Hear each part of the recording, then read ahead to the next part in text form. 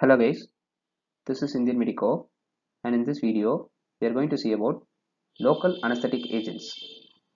This is a concise presentation for medical students. Local anesthetic agents are divided into two groups based on their chemical structure.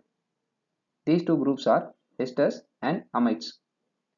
Examples for esters include procaine, cocaine, tetracaine and lidocaine. Esters have a shorter duration of action except tetracaine.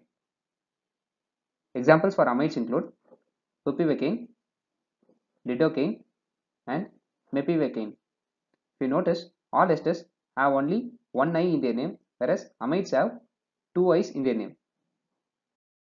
Now let us see about the mechanism of action of local anesthetics.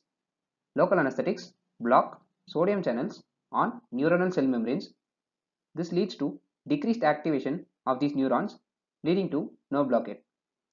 The nerve blockade is most rapid in myelinated fibers of small diameter. Now let us see about the uses of local anesthetics.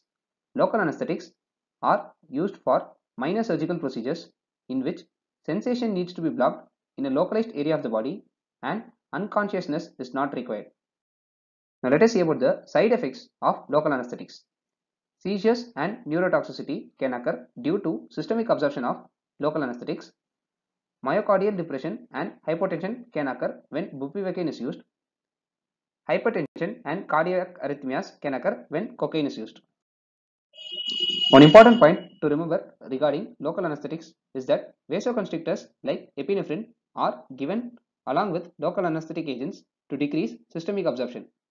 This leads to more effective nerve block in desired area and also less systemic side effects. If you have any suggestions, please let me know in the comment section. For more such videos, kindly check out my pharmacology playlist. If you like my videos, kindly subscribe.